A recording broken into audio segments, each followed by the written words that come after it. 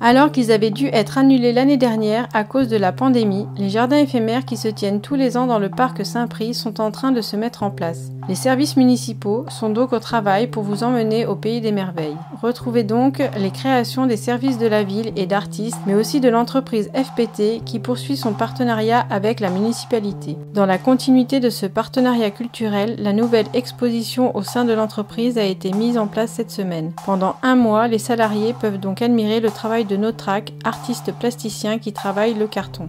La consultation autour du projet de parc photovoltaïque se poursuit. Depuis le 26 avril et jusqu'au 4 juin, vous pouvez donner votre avis sur ce projet sur le site internet www.registre-numérique.fr slash concertation-bourbon-lancy, mais aussi directement à l'accueil de la mairie pendant les horaires d'ouverture du lundi au vendredi de 9h à 12h et de 13h30 à 17h30.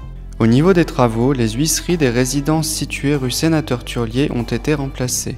Rue de Verdun, un fossé a été busé et permettra de créer un chemin plus sécurisé pour les piétons et s'inscrit dans la continuité du sentier des remparts qui permet de découvrir les plus beaux points de vue de notre ville.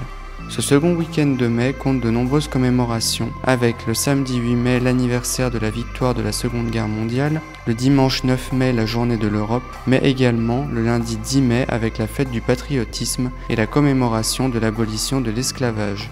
Le gouvernement a dévoilé la semaine dernière les nouvelles mesures liées à la crise sanitaire avec un déconfinement en quatre étapes dont nous vous ferons des rappels lors de nos vidéos hebdomadaires. Depuis ce 3 mai, les attestations de déplacement sont supprimées. Les déplacements au-delà d'un périmètre de 10 km sont autorisés et les collégiens et lycéens ont repris le chemin des cours. Cependant, le couvre-feu de 19h à 6h est maintenu.